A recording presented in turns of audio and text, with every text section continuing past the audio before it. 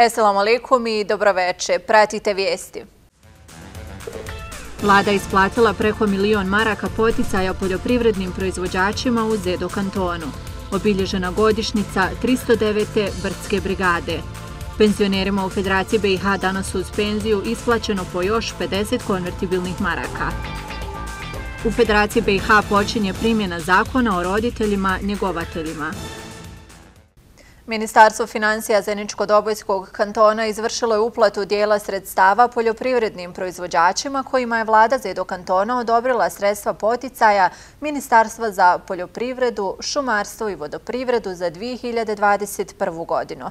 Isplaćena su sredstva u ukupnom iznosu od 1.467.298 konvertibilnih maraka.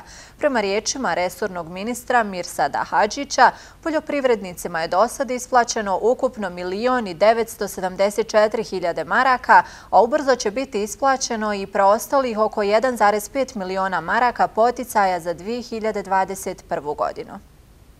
5. januara 1993. godine formirana je Kakanska 309. Brdska brigada. Tim povodom u gradskom parku danas je upriličeno polaganje cvijeća na spomin obilježi šehidima i poginulim borcima odbranbeno-oslobodilačkog rata u periodu 92-95. godina i palim borcima Narodno-oslobodilačkog antifašističkog rata 41-45. godina.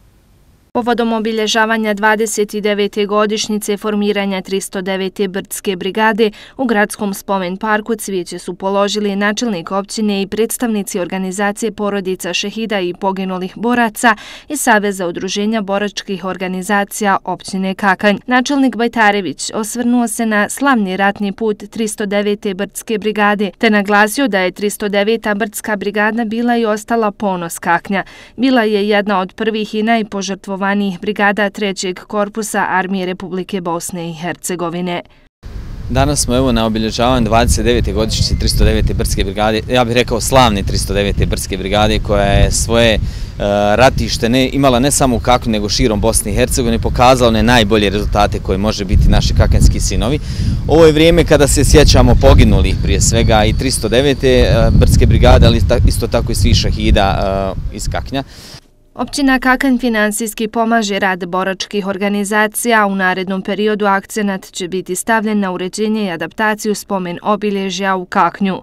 Općina Kakan će kao i u prethodnih godinama prije svega izdvajati sredstva da pomaže boračke organizacije, zaše borci u skladu sa njihovim programima koji, koji se naprave u okviru budžeta općine Kakanj, ali isto tako sva ova naša stratišta, sva naša mjesta na kojima se sjećamo i održavati, to moram najaviti, već u ovoj godini planiramo eh, adaptaciju, sanaciju određenih naših spomen obilježa. Isto tako pozivati naše građane, što nam je jako bitno da što više mladih ljudi, što više boraca bude na ovim mjestima, da ne zaboravimo sve one strahote i patnje koje smo prošli 1992. 1995. godine. Korijeni 309. Brdske brigade potiču iz prvih hrabrih kakanskih dobrovoljačkih četa sa Brezansko ili Aškog ratišta.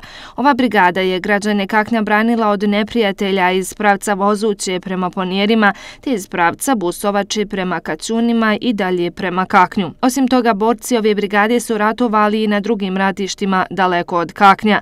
Brigada svoj ratni put pod nazivom 309. Brdska brigada završava u oktobru 1990 1994. godine kada se od 309. Brdske brigade i 311. Lahke brigade formira 329. Brdska brigada. U povodu obilježavanja 309. Brdske brigade, Muzej Kaknja u saradnji sa Savezom udruženja boračkih organizacija općine Kakanj organizovao je nekoliko interaktivnih časova sa učenicima kakanskih srednjih škola.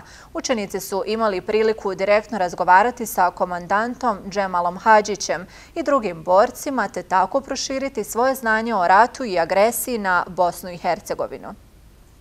Ratni komandant Džemal Hadžić nakon skoro tri decenije bio je u prilici današnjoj generaciji učenika srednjih škola govoriti, prepričavati i približiti ratni period agresije na Bosnu i Hercegovinu. U interaktivnim časovima sa učenicima je razgovarao o najtežim trenucima i putevima kojim su prolazile bosansko-hercegovačke patriote, žal za izgubljenim borcima, radost zbog svakog osvojenog teritorija, disciplina koju je zahtijevao i koju je i sam praktikovao, te emocijama s kojima je dočekao kraj rata, bile su samo neke od tema o kojima je Hadžić govorio. Ovo je malo ozbiljniji sada projekat, jer mi smo imali juče sa jednom grupom čas istorije na temu kakanj u odbrambeno-oslobodilačkom ratu 92. 95. Evo danas smo imali i razgovor sa tom grupom, znači dali smo i mogućnost da pitaju i postavljali su ovako vrlo ozbiljna pitanja, a dati su odgovori koji će njih sigurno usmjeriti usmjeriti u daljem životu i e, na osnovu koji će zauzmati svoje stavove, stavove u, daljem, u daljem radu. Muzej Kaknja u svom radu i djelovanju između ostalog posebnu pažnju posvećuje ratnim postavkama kako bi se predmeti koji su se koristili u ratu, oružje sa kojim se ratovalo, dokumenti i sve drugo vezano za rat u Bosni i Hercegovini sačuvalo od zaborava. Uz postavku i živu riječ direktnih sudionika proteklog rata, mladi ljudi poput ovih mogu pronaći odgovore na mnoga pitanja vezana za rat i stvoriti jasniju sliku o onome što se događalo u periodu od 1992. do 1995. godine. Današnje informacije su nam bile jako korisne, pogotovo zato što u školskom jel, ovakvom sistemu nema, nema toliko prostora za, za ove teme, a trebalo bi da ima i ovo jedan jako dobar način da saznamo sve ono što nas interesuje od ljudi koji su to iskusili s prve ruke. Mislim da je veoma korisno jer u našem školstvu se uopšte ne uči ovim prošlim ratoma koji su bili. I mislim da je ovako jedno živo iskustvo veoma korisno za naše, naše generacije, jer koje ne znaju i nemaju pojma ništa o ovom posljednjem ratu koji se desio u Bosni. I smatram da je to jedna od nekakvih prekretnica kako da se mi možemo spremiti za budućnost, da se ovo opet ne desi i da možemo živjeti normalno i zajedno u našoj Bosni. Kakanska 309. brdska brigada formirana je 5. januara 1993. godine. Zajedno sa ostalim jedinicama Armije Republike Bosne i Hercegovine dala je veliki doprinos za njenu odbranu. Patriotska dužnost je da se priča o svim herojskim brigadama i da istina o njihovim ulogama u odbrani jedine domovine bude prenesena na buduće generacije. Zaključci su ovog interaktivnog časa. U skladu sa zakonom o penzionom U skladu sa zakonom o penzijskom invalidskom osiguranju, penzije za decembar su isplaćene danas 5. januara preko jedinstvenog računa Trezora Federacije BiH, objavio je Federalni zavod PIO MIO. Na osnovu uredbe vlade Federacije BiH o novčanom iznosu, penzije kao podrška penzionerima u Federaciji BiH svim korisnicima Federalnog zavoda koji su rezidenti Bosne i Hercegovine uz penziju za decembar isplaćen je jednokratni novčani iznos od 50 konvertibilnih maraka. Najniža penzija iznosi 382 marke, zajamčena 478 maraka, a najviša 2174 konvertibilne marke. Penziju za decembar dobilo je 429.545 korisnika, dok je pravo na jednokratni novčani iznos ostvarilo 362.995 penzionera. U Federaciji Bosne i Hercegovine početkom nove 2022. godine počinje primjena zakona o roditeljima njegovateljima koji je u parlamentu usvojen u jesen 2021. godine. Status roditelja njegovatelja pod uslovima utvrđenim ovim zakonom priznaje se jednom od roditelja lica sa invaliditetom sa 100% oštećenjem organizma i pravo na dodatak za njegu i pomoć od drugog lica prve grupe, utvrđenim u skladu sa zakonom o osnovama socijalne zaštite, zaštite civilnih žrtava rata i zaštite porodice sa djecom.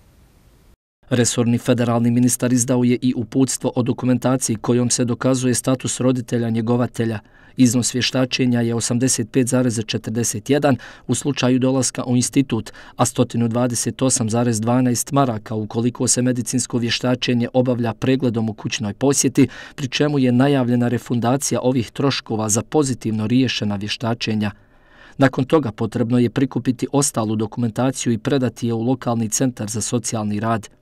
Zakonom je predviđeno da se roditelju njegovatelju priznaje pravo na mjesečnu naknadu u visini iznosa najniže neto plate u Federaciji Bosne i Hercegovine, na koju se uplaćuju doprinosi za penzijsko i invalidsko osiguranje, zdravstveno osiguranje i osiguranje za vrijeme nezaposlenosti. Premijer Federacije Bosne i Hercegovine Fadil Novalić traži hitno usvajanje zakona kojim se uz transfer iz prijedloga budžeta Federacije BiH omogućava i da svi kantoni osiguraju porodijske naknade od hiljadu konvertibilnih maraka. Premijer je predsjedavajućima predstavničkog doma i Doma naroda parlamenta Federacije BiH uputio inicijativu da po hitnom postupku na dnevni red sjednica domova stave usvajanje prijedloga zakona o materijalnoj podršci porodijske porodicama s djecom u Federaciji BiH, koji je federalna vlada utvrdila i u parlamentarnu proceduru uputila prošlog mjeseca. Taj akt uređuje prava i zaštitu porodica i djece, a s obzirom na transfer kantonima koji je planiran u prijedlogu budžeta Federacije BiH za 2022. godinu, ovo je ujedno i prilika da se na jednobrazan način riješi pitanje isplata naknada porodiljama u cijeloj Federaciji Bosne i Hercegovine. Nakon što su gradonačelnik Visokog Mirza Ganić i ministar za obrazovanje, nauku, kulturu i sport Zeničko-Dobojskog kantona Spahija Kozlić 14. decembra položili kamen temeljac za novu školu Goduši, radovi teku intenzivirano. Za drugu fazu je ministarstvo osiguralo 200.000 km. Osim nove škole u Goduši, još jedna nova škola je u procesu izgradnje.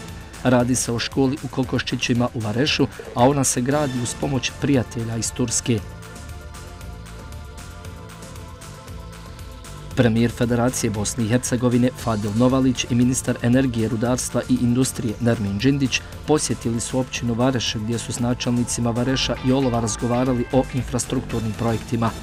Na sastanku se razgovaralo i o izgradnji puta Vareš-Očevija, gdje bi Federacija Bosne i Hercegovine imala ulogu moderatora, te je izražena spremnost da se pomogne lokalnoj zajednici kroz gradnju infrastrukturnih projekata, kao i zapošljavanju. U protekloj sedmici završeni su radovi prve faze uređenja infrastrukture ispred džamije u Stipovićima u općini Zavidovići.